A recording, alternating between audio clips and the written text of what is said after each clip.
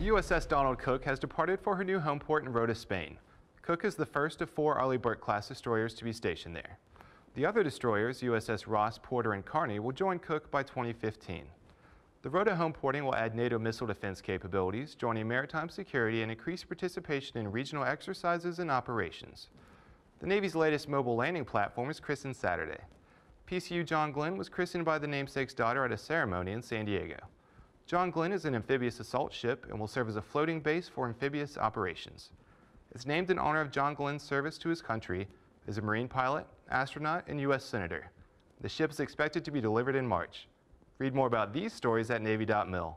From All Hands Update, thanks for watching.